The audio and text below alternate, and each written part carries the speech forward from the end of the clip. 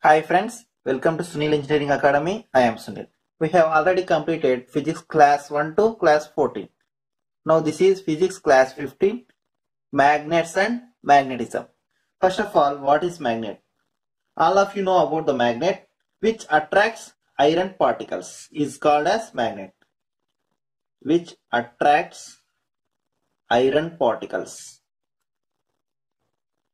is called magnet and we we have different shapes of magnets are available.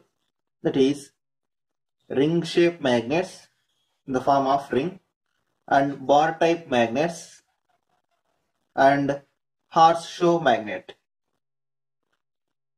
Horseshoe magnet. Horseshoe magnet. It is very very important for exam point of view in case of exams, he will given the shape of this magnet and which type it is. It is a horseshoe magnet. And magnets have two poles, north and south. If you take a bar magnet, these magnets have two poles, north and south. And the magnetic flux lines always flows from north to south in case of outside. North to south in outside of the magnet or around the magnet. Like this. Okay. But inside the magnet it is from south to north. From south to north. Very very important one. Outside magnet flux lines flows from north to south but inside of the magnet but inside flux flows from south to north. Okay. And these flux lines always continuous. These flux lines always continuous and forms a closed loop. They never cross each each other. That means they never intersects okay. And one more important point is these poles are always exist in pair. Poles always exist in pair. That means if you cut this magnet into two parts then then also it forms a north and south. So they always exist in pair.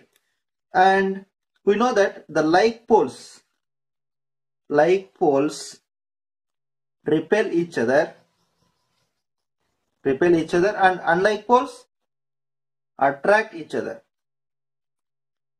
attract each other. That means if you take a bar magnet that is NS, here are here SN, here like poles, the like poles are repels to each other. And if you take the magnet, two magnets that is NS, here is NS, then here unlike poles, they attract each other. Okay. And the next one, magnetic substances. Magnetic and non-magnetic substances. First of all, magnetic substances. That is, the substances which are attracted by magnet are called magnetic substances. They are attracted by magnets. The substances which are attracted by magnets are called magnetic substances. We know the examples. Nothing but iron. Iron particles are attracted by the magnet and nickel, cobalt and their alloys and their alloys are magnetic substances. And what are the non-magnetic? Non-magnetic substances. They are nothing but which are not attracted by magnets. Not attracted by magnets. There are a lot of examples for non-magnetic substances. Here some are wood, aluminium and another one is copper. Remember friends, copper is not magnetic substance. It is not attracted by magnet. Okay. And the next one important term magnetic field. Magnetic field. It is nothing but the region. The region around the magnet in which it has force of attraction. It is the region surround the magnet in which it has force of attraction. That is, if you take a iron pot and it is kept in this region, it will attract by magnet. So this region, this field is called nothing but magnetic field. If you take this iron particle is here, it is not attracted by this magnet because there is it is not in the field of this region. So it is so we can say that the magnetic field is nothing but the region around the magnet in which it has force of attraction. The region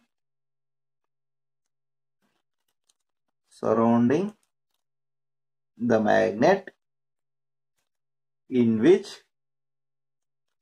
it has force of attraction. Okay. Based on this magnetic field, the magnetic substances are divided into three types. Divided into three types. First one, diamagnetic materials, paramagnetic materials, ferromagnetic materials. Okay. Comparison of these diamagnetic substances, paramagnetic substances and ferromagnetic substances. First of all, coming to the diamagnetic substances, the substances which are weakly magnetized, which are weakly magnetized in the direction opposite to the magnetic field are called diamagnetic materials. Here, in case of paramagnetic, the substances which are same as weakly magnetized but in the same direction of magnetic field. In case of this ferromagnetic, they are strongly magnetized in the same direction of magnetic field. First of all, diamagnetic substances which are weakly magnetized which are weakly magnetized in the direction opposite in the opposite direction of magnetic field. Magnetic field. When they are placed in strong magnetic field.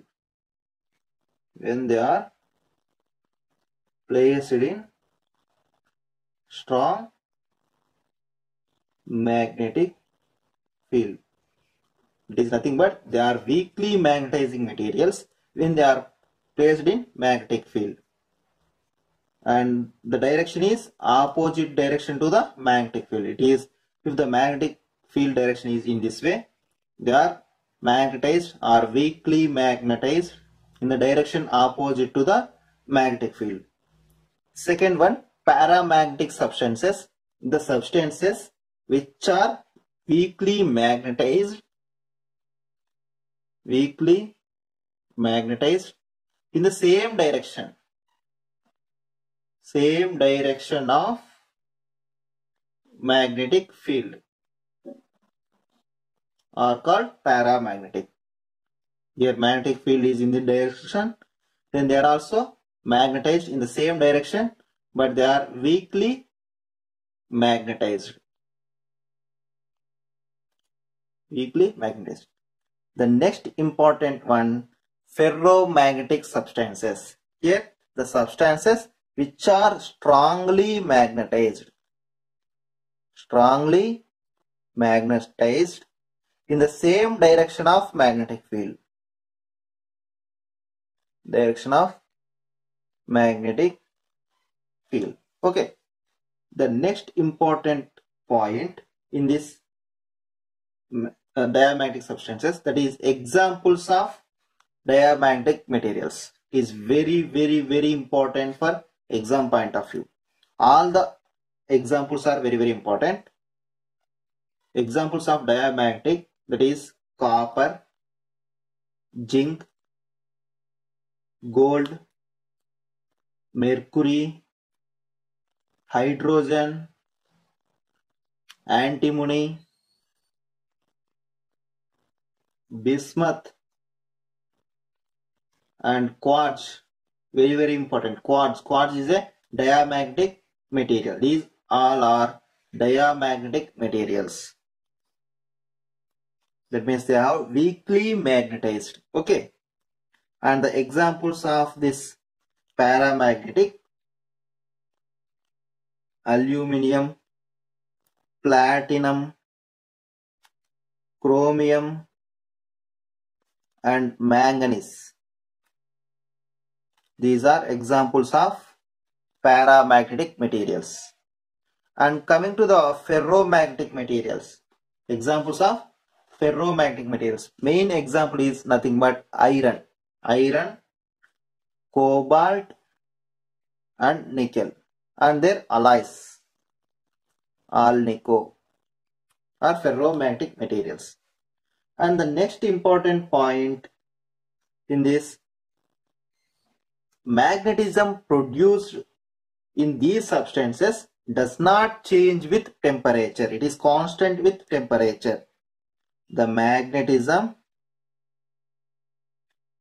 produced in these substances substances does not change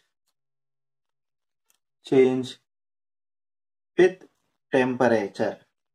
But in case of this paramagnetic materials, as temperature increases, as temperature increases, the magnetism will be decreases. Magnetism will be decreases. In case of ferromagnetic is also same as that of paramagnetic. As temperature increases, the magnetism produced is decreases. Okay. Next point, the permeability. Permeability. It is nothing but ability of the magnetic field. Ability of magnetic field. That is, it is the ability of magnetic flux to flow through the material. That is how much it will allows the magnetic flux through it. Okay. It is denoted by the letter mu and the permeability is less than 1 for in case of diamagnetic materials and in case of paramagnetic material the permeability is just greater than 1. For in case of ferromagnetic materials it is much greater than 1. Okay. And the next important one is susceptibility. Susceptibility. The susceptibility for diamagnetic material is small and negative. Small and negative. It is nothing but it is the measure of how much a material become magnetized in a applied magnetic field. It is nothing but measure of how much a material become magnetized magnetized in an applied electric in an applied magnetic field. And in case of paramagnetic material this susceptibility is small and positive small and positive. In case of this ferromagnetic it is large because they have ability to magnetize So they are large and positive. Okay. These are the important points in case of diamagnetic, paramagnetic and ferromagnetic materials. Okay. And these ferromagnetic materials are extensively used for make the permanent magnet. Permanent magnets because of their high permeability and high retain and high retentivity.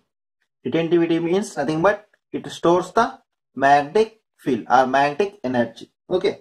And so we can say that magnets are permanent magnets and also electromagnets. These permanent magnets are nothing but which retain its magnetic property for a long time period. For a long period of time that is which retain its magnetic property property for a long period of time are called nothing but permanent magnets. We use the ferromagnetics to make the permanent magnets. So the ferromagnets, nothing but we use the alnico that is alloys of aluminium, nickel and cobalt is used to make the permanent magnets. You can also use cobalt or steel to make these permanent magnets. And what is the electromagnet? Electromagnet, electromagnet is nothing but we already discussed in the previous class that is magnetic effects of electric current. Whenever flux, whenever the current flows through the conductor, it will produce flux and it will act as a magnet. This magnet is called electromagnet. That is, a current carrying conductor behaves as electromagnet.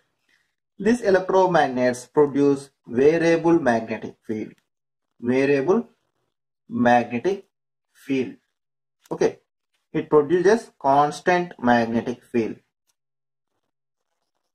Magnetic field. Okay.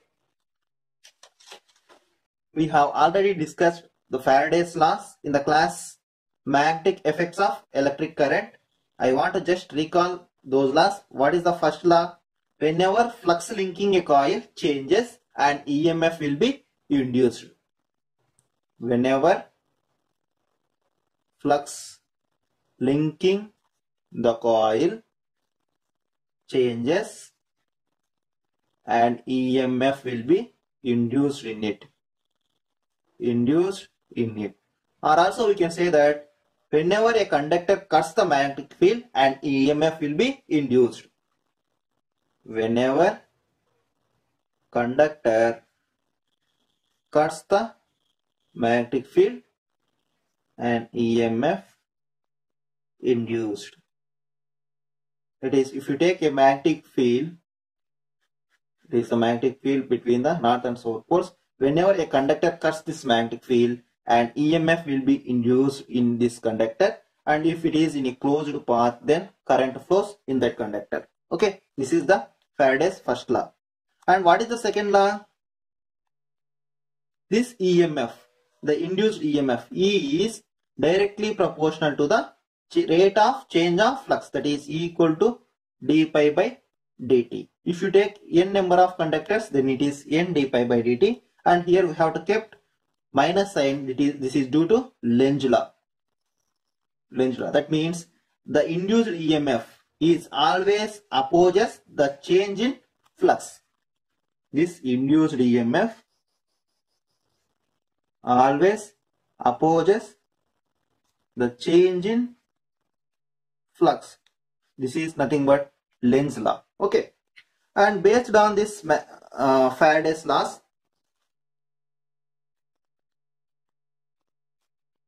in case of generator, in case of generator, whenever the flux, whenever the flux cuts by this conductor, EMF will be induced, will be induced. So, the principle of this generator is nothing but Faraday's laws of electromagnetic induction. Faraday's laws of electromagnetic induction. And this gen generator converts mechanical energy into electrical energy. Okay. And in case of motor, case of motor, whenever a current carrying conductor a current carrying conductor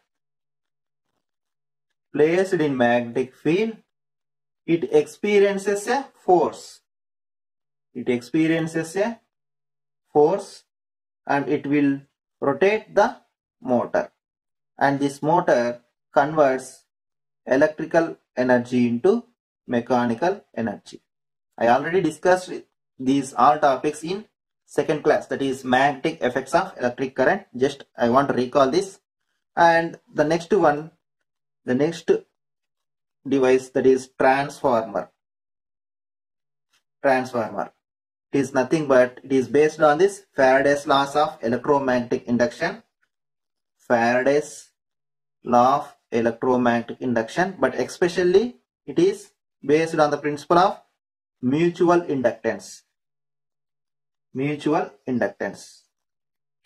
What is this mutual inductance? What is self-inductance? Whenever, if you take only one coil, whenever current flows this coil, the flux will be produced in this same coil. This is nothing but self-inductance. Self-inductance. If you take two coils with the same core, that is if you take one core material and take two coils, it is one coil, it is another coil. It is coil 1, it is coil 2. If the current flows through the coil 1, then flux will be produced in it and this flux will be transferred to the or links to the another coil. Then an EMF will be induced in it. And EMF nothing but voltage. And EMF will be induced in it. Then this is called mutual inductance mutual inductance. That means whenever current flows in one coil the EMF induced in another coil then it is called mutual inductance. These two coils are magnetically coupled not electrically. Okay. This principle is nothing but transformer principle. Okay. And this transformer is used to step up or step down the voltage used to step up or step down the voltage. If the primary coils primary coils that is let us take n1 and the secondary coils take n2 if the secondary coils are high it, it is nothing but step up the voltage. If the primary coils are high and the secondary coils are low that is here it is n1 and it is n2 here n2 less than n1 then it is step down. Step down. Okay. If secondary coils are higher it is step up the voltage. If the primary coils are higher and secondary coils are lower then it is steps down the voltage. Okay. For better understanding of these magnetic properties, I want to compare these magnetic circuits with electrical circuits. Okay, this is not in syllabus, but if you know about this, you can easily understand the magnetic properties. Take electric circuits and here magnetic circuits. First of all, in this electric voltage or EMF, the voltage or EMF in case of electric circuit, it is magnetomotive force, MMF. Here EMF, in case of magnetic circuit, it is a MMF. We know about the voltage. Voltage is nothing but it is it is which drives the electrons from one point to another point. It is nothing but it is cause. It is cause which drives the electrons electrons from one point to another point. Here, same as that of EMF, it is magnetomotive force which drives the flux. Which drives the flux. Here, electrons are, we know that the flow of electrons is called flux. Sorry, the flow of electrons is called current is called current. Here what is the flux? The magnetic lines of force. Lines of force is called as flux. Here the units of this current is nothing but amps. Here flux units of flux is Webers. Webers. Okay. And here Ohm's law in case of electric circuits, we know that Ohm's law Ohm's law V equal to I into R. Here in case of V it is a MMF. MMF equal to in case of current it is a flux. Resistance it is in case of reluctance. It is denoted by letter S. It is reluctance. What is resistance? We know that resistance which opposes the flow of current. Opposes the flow of current. It, it is nothing but which opposes the flow of flux opposes the flow of flux okay we know that r dimension the formula for this r equal to rho l by a. Here the value of s s equal to l by mu a. Here rho is nothing but resistivity and rho is nothing but 1 by sigma. It is sigma is nothing but conductivity. Conductivity. Here the mu is nothing but permeability permeability.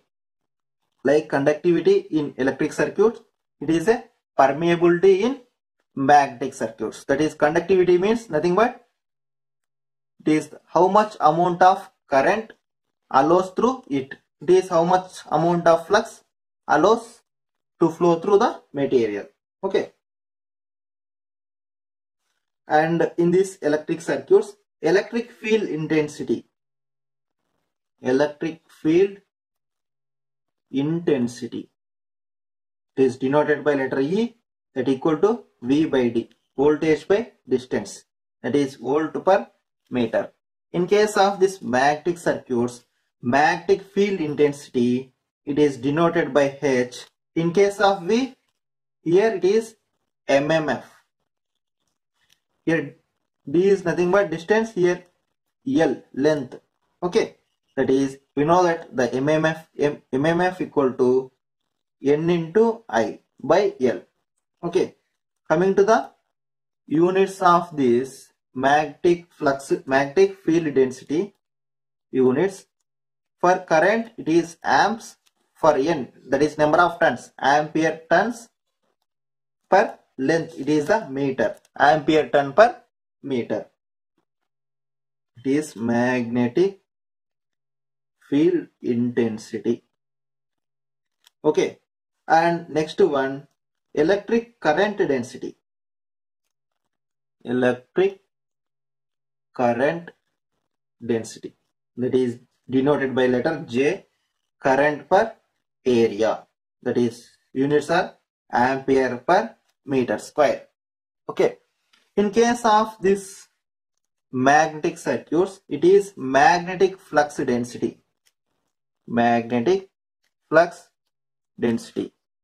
Uh, magnetic flux density denoted by the letter B and here current by area. In case of current is nothing but here flux, flux by area that is units are Weber per meter square or Tesla. Very, very important. The magnetic flux density units Weber per meter square are Tesla. Or also we can say that this B is equal to mu into H. The relation between magnetic flux density and field intensity. That is B equal to mu into H. Mu is nothing but permeability. Nothing but permeability. Okay, this is the comparison of these magnetic circuits with electrical circuits. Then you can easily understand these magnetic circuits. Okay. Okay friends, thank you.